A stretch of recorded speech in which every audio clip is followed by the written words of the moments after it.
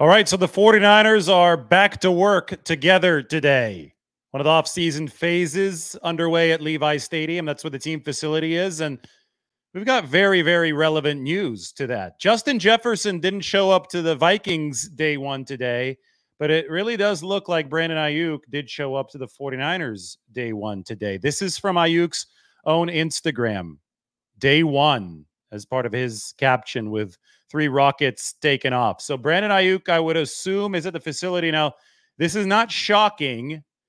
And I said that I expected him to be at the facility in my show yesterday. But this is not shocking because Brandon Aiyuk on the podcast a couple weeks ago, they did it with Chad Ochocinco.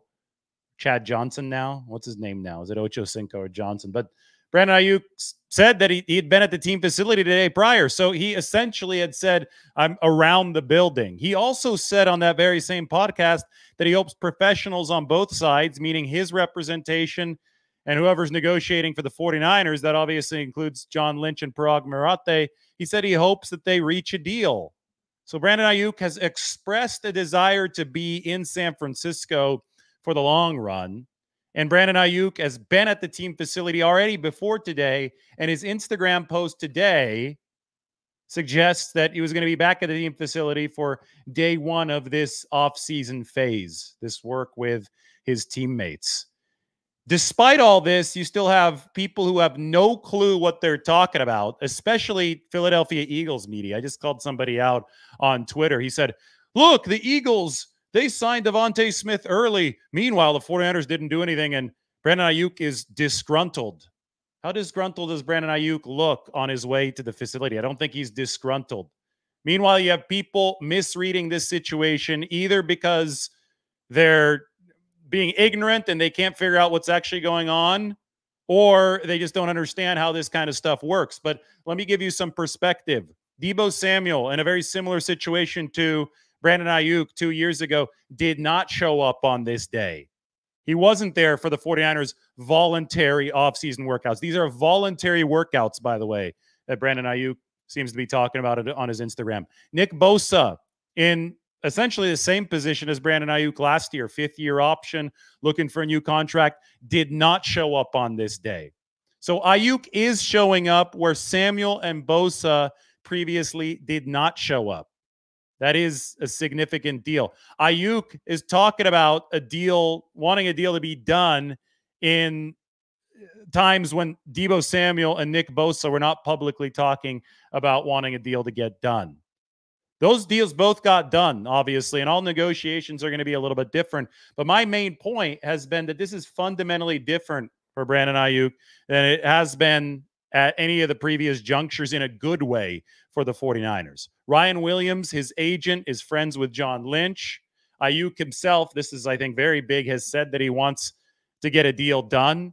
If he's trying to negotiate by playing hardball here, and a lot of people will point at the Instagram unfollow, but uh, I, will tell you, you need to grow up if you think that an Instagram unfollow is somehow significant in this situation. We, you need to add some maturity to your own analytical skill set. A lot of people will point at that, but when you point at the actual stuff that's happening in this Brandon Aiyuk situation, it very, very much points to this actually being ahead of the 49ers other contractual situations for A-listers and extensions in prior years. And they have successfully extended George Kittle, Fred Warner, Deebo Samuel, and Nick Bosa in four consecutive seasons. Now, some of the Eagles media is like, well, Philadelphia did this with DeVonta Smith, 25 million per year and they're acting like the 49ers haven't done anything. Well, first of all, they have extended players in four straight years. They have a track record of paying A-listers that's actually bigger than Philadelphia's. And two, the 49ers with Brandon Aiyuk, I mean, this is a fifth year option guy, kind of like Nick Bosa last year.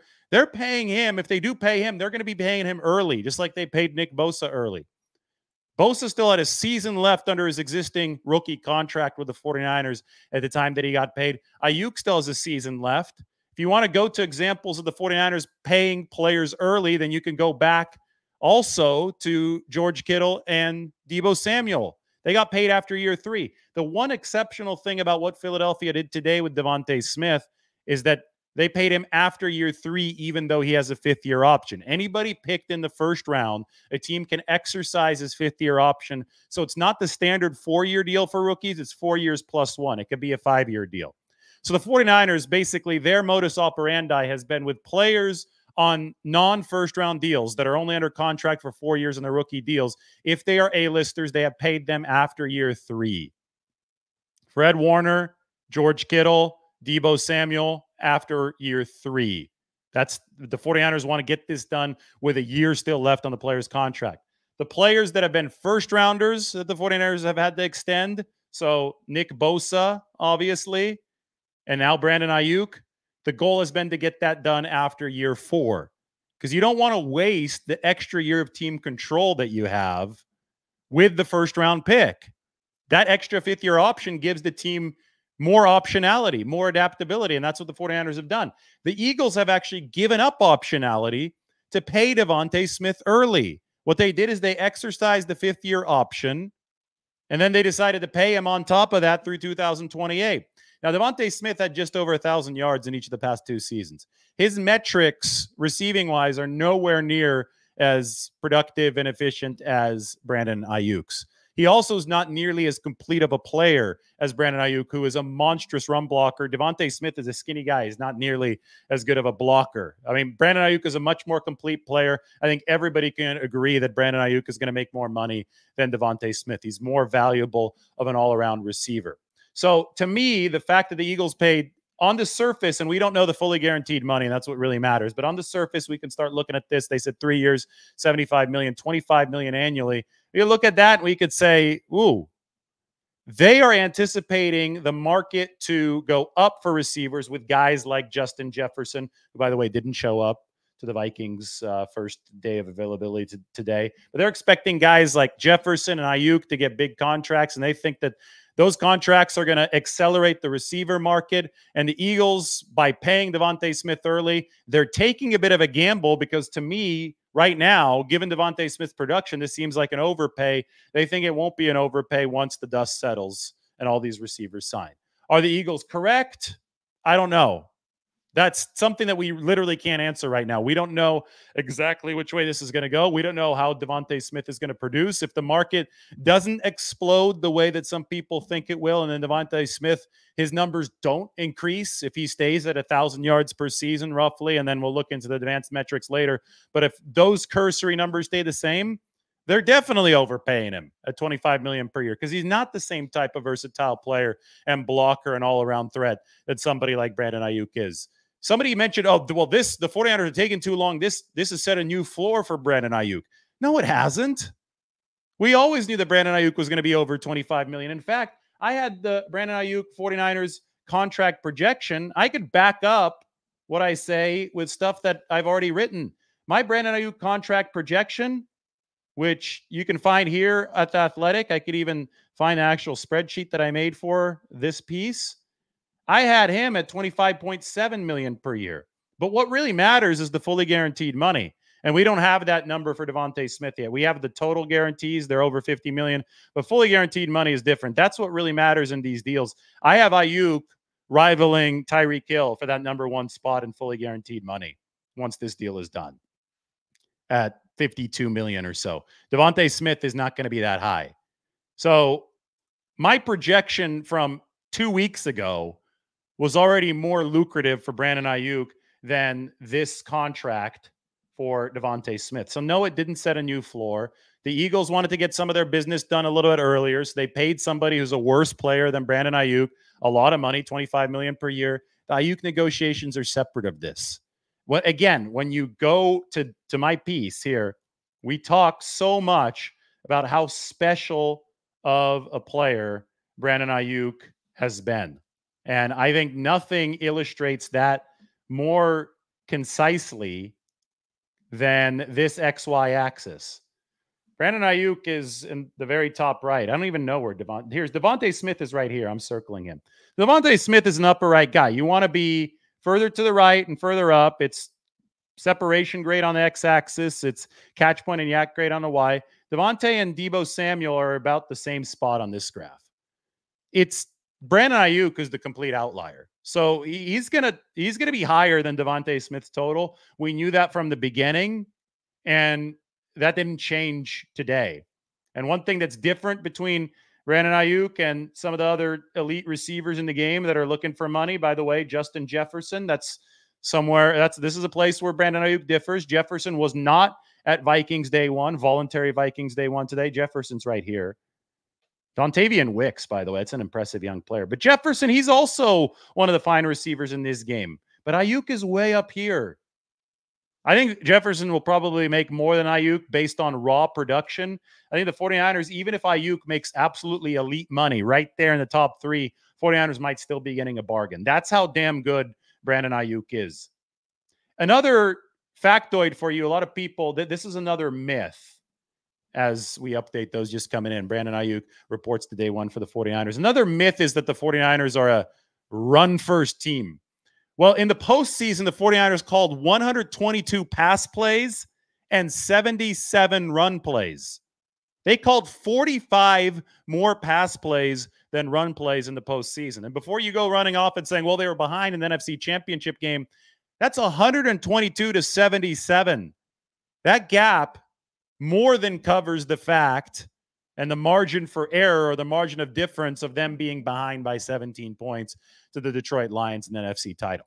We have seen the 49ers transform with these weapons and with Brock Purdy a quarterback. We have seen them transform into well, obviously a really balanced team. That's always the goal with Kyle Shanahan, but they are also a pass first team now because Brock mm-hmm. Purdy is an elite quarterback. So 49ers and two $20 million receivers makes absolute sense.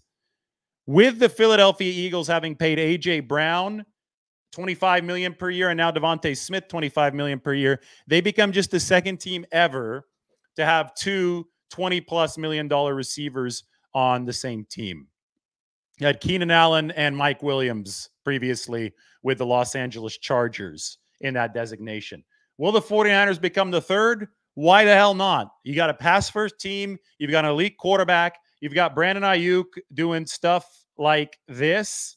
And Deebo Samuel's also in the top right of this graph. I mean, hell, Jauan Jennings is there. You want as many good weapons as possible. So Brandon Aiyuk deserves top dollar. The 49ers realize that. Aiyuk realizes that. And he's obviously here to play ball. Brandon Aiyuk, there he is ready for day one. He's here to play ball. He is at the 49ers facility at a time when Deebo Samuel, Nick Bosa, in you know similar parts of their contract progressions were not. And that is a, a big, big update for the 49ers. A team that in the playoffs called 122 pass plays and 77 run plays. Now, on a 14 of those pass plays, Brock Purdy tucked it and ran. But Kyle Shanahan literally called 122 pass plays, and then Purdy's mobility did the rest. So I think you've got to outfit them with as many good receivers as possible. And Brandon Aiyuk obviously fits into that. But you know, just the difference: him reporting to day one, Justin Jefferson not reporting to day one. I, I think everything, the totality of what we've seen so far all the evidence. I mean, yesterday we talked about Ryan Williams, Brandon Aiyuk's agent, shooting down the the fake uh, trade request reports. Obviously, anything is possible at any given time in NFL, but we have to assign probabilities to these things, and we have to see which way the wind is blowing in these things. And if we actually open our ears and listen to what Aiyuk has to say, to what his agent had to say on Twitter yesterday, telling one of those fake reporters that he needs to get better sources when he said that Aiyuk has requested a trade. When we look at the difference between what is going on with Brandon Aiyuk and what happened uh, with the uh, Deebo Samuel situation and the Nick Bosa situation, we can connect all the tea leaves and see that the 49ers want to get something done. We also don't have to unnecessarily connect stuff that isn't necessarily connected. The Eagles like to pay at a different cadence than the 49ers. 49ers like to pay guys early but DeVonta Smith, this is two years early for Philadelphia. Two years early for a guy that cracked a thousand yards, did not put up the same type of numbers as Brandon Aiyuk, is not as physically imposing as Aiyuk, is not just as good of an all-around player. 25 million, that might end up being an overpay. And and if it's not, then yeah, Philadelphia got a good deal. But it's the risk they're willing to pay. I'm here to talk about strategy. And I'll tell you that the 49er strategy is pay your A-listers who are under second round or lower contracts after year three. Exhibits A, B, and C are George Kittle, Fred Warner, and Deebo Samuel. And then the 49er strategy continues with pay your first rounders who are A-listers after year four before the fifth year option. Well, the 49ers did that with Nick Bosa, and now that's what they're trying to do with Brandon Aiyuk. So if you have any questions, I'm happy to answer them. Well, we're going to start, and I'm going to introduce this in a little bit. So why don't you hit the subscribe button right now? Hit the notification bell. I'm going to start doing a 49ers week in review video. That's going to be coming out in, uh, I'll probably go live with it about 20 or 30 minutes after this one. I got to get some stuff in order. So be ready for that. We're going to go 49ers week in review. We're going to talk about some of the 49ers new visits on their top 30 list. We're going to talk about some draft prospects. We're going to talk about Brock Purdy because I think this video should be dedicated to Brandon Aiyuk, but in a little bit, we'll talk about Brock Purdy. So 49ers week in review coming up. That's going to be the first installment of that series. My mother in law actually recommended it. So thank you to her. We will see how it does.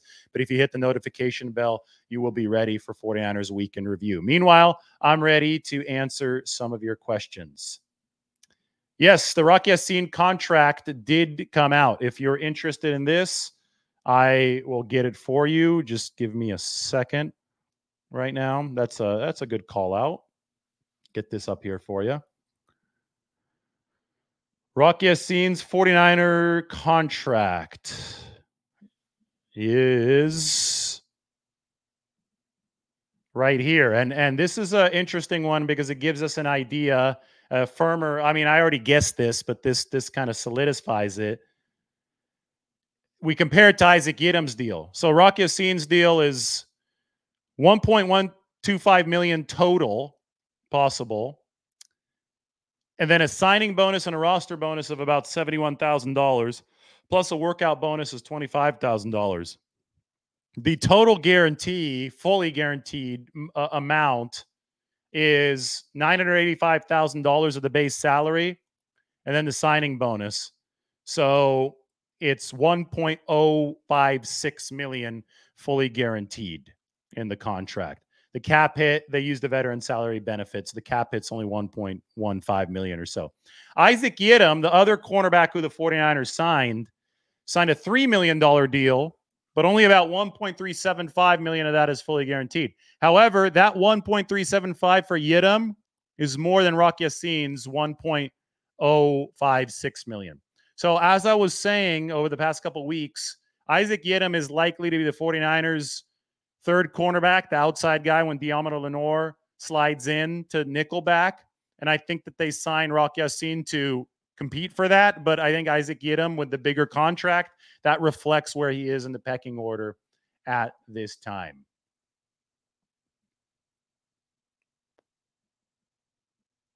What can we expect from the new defensive coordinator of the 49ers? Well, I think it's important to look at this not just with Nick Sorensen, who's going to bring back some of the basics. I think better run defense. I think they're going to be playing the linebackers more to shut down that run, stop the run so you could have some fun.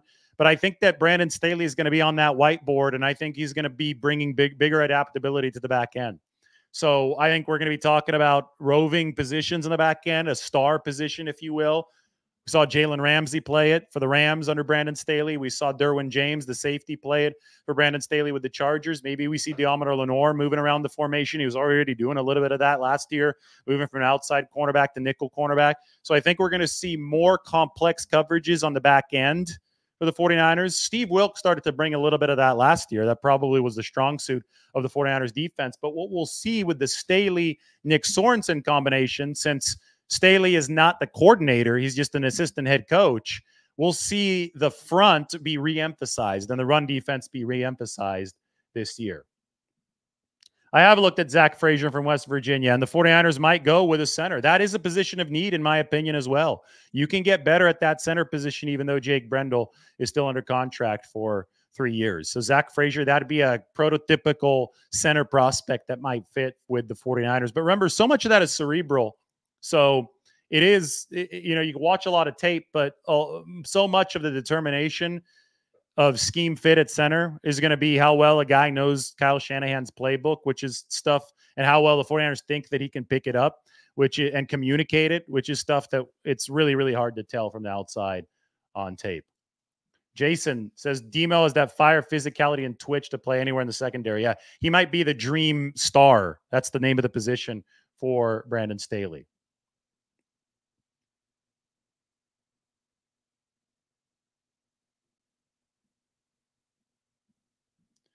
With Ray Ray McCloud gone, can we expect to see Deebo returning kickoffs and the new kickoff rules?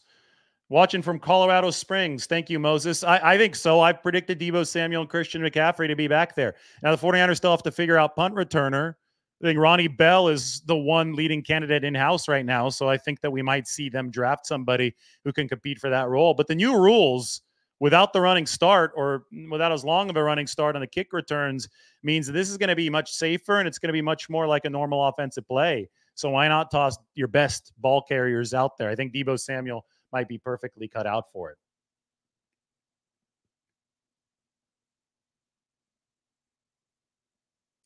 Do I think that Greenlaw's injury recovery is going well? Greenlaw seems to think so, according to John Lynch. It is an Achilles recovery. I don't think we'll know for sure until he actually comes back. So why don't we just sit back, wait, and see how this goes? That's why the 49ers brought in De'Vondre Campbell. They might still be on the market for uh, the draft market for a linebacker. In fact, they added uh, some new players to the visit list. I'll share them with you right here. If you go to my 49ers depth chart, those of you who are familiar with this, you know you could scroll down and see the visit list. Tatum Bethune from Florida State, who played for UCS, UCF before that, played the final two seasons of his career for the Seminoles. He's a linebacker, seventh round undrafted free agent projection. They're looking at him, top 30 visit, and also Erick All, the tight end out of Iowa. He's a fifth to sixth round projection, got added to the list. So obviously the 49ers are still interested in adding a tight end and adding another linebacker. Brock Purdy's on Pat McAfee tomorrow. People can tune in. That should be good. I'll watch that.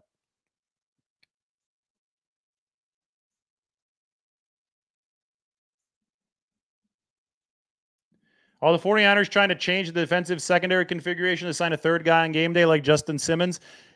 I think that at the right price, they would bring Justin Simmons in at a heartbeat. He's still a free agent. That being said, he, I think the safety market hasn't been what these guys thought it'd be. Simmons is the best available player out there. He's got the most interceptions out of any NFL player since 2018.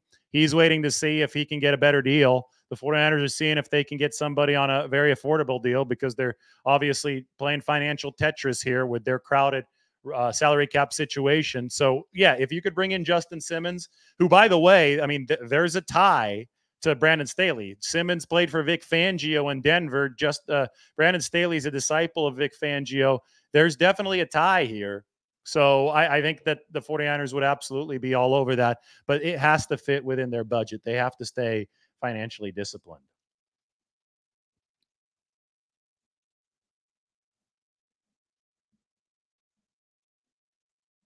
What do you want the link for? You want the link for the for this right here, you want the link for the roster? I'll put it in the comment section. There you go. Link is in the comment section. You can go check it out. How excited am I about the draft? I'm very excited about the draft. However, I won't be in Detroit. I'm going to be in the Bay Area. I, John Lynch, Kyle Shanahan, all the 49ers brain trust is at the facility. So that's where I'll be. I'll be with them at the facility we don't actually as reporters we don't go to the site of the draft. The decisions are made remotely. It's been that way for a long time. So i will be in the bay area. Nothing against detroit but i'd much rather be in the bay area. I'm training for a big open water swim. This one's going to be epic. This one's going to be really ambitious. So stay tuned. We'll let you know probably at some point next week where, where we're going to be trying to swim to or swim from. It's going to be tough. No guarantee we get this one done John Lynch is going to speak to the media pre draft on Monday, the 22nd. So a week from now. So the 49ers get a week of work in. Those of you just joining, the news of today is Brandon Aiyuk on, on Instagram posting this. Instagram, where he no longer follows the 49ers, but he's talking about day one. He's talking about day one excitement. And that the 49ers are convening for for day one of the offseason program today. So that's happening today, next week, John Lynch and the press conference. Pre-draft press conference.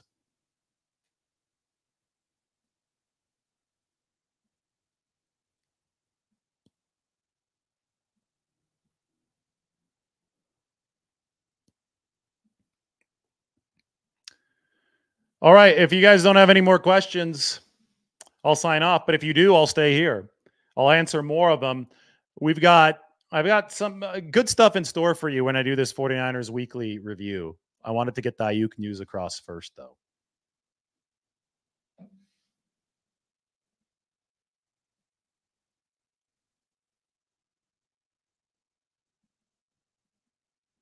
So, anyways, swam across the Atlantic Ocean before. Don't worry, I'm not trying to swim across an entire ocean. The swim that we will be doing is going to be in an ocean, though. It's no longer in just a bay. It's going to be in an ocean. But it's not, I'm not like crossing the Pacific. I'm not swimming all the way to Hawaii or trying to. But I mean, it, it, it is going to be ambitious. Let's put it that way.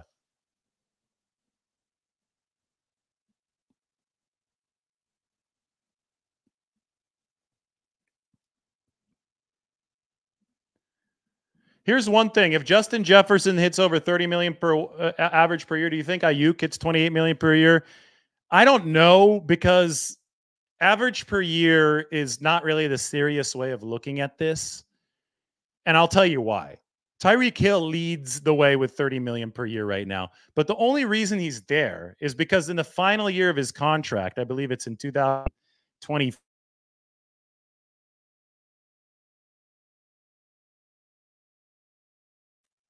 which is massive, but none of it is guaranteed. None of that $43.9 million is guaranteed for Tyreek Hill in the final year. So the only reason they made it that big is to get to 30 million, to make it average out to 30 million. So, I mean, you could say, yeah, well, according to those numbers, it's 30 million, but that money is not likely to be earned, right? If you look at that, they're not, they're going to want to renegotiate that in all likelihood. So, in many ways, APY average per year is just a vanity number. And what really matters is the fully guaranteed money.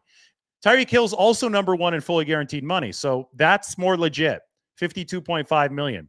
I'm looking more at the fully guaranteed money than anything else for Brandon Aiyuk. And I do think he's going to exceed 50 million. I'm very curious to see where Justin Jefferson is going to be. But guess what? Jefferson missed a lot of time due to injuries this past season. Brandon Aiyuk, one thing that he's really proven is durability. He's missed only one game since his rookie year. And that's really big. Availability is the best availability. All right. Hit the subscribe button, hit the notification bell. 49ers Weekend Review is coming up very, very soon. I'm going to get to work on that show and we'll be back live very soon. So be ready for that, and we will talk to you shortly.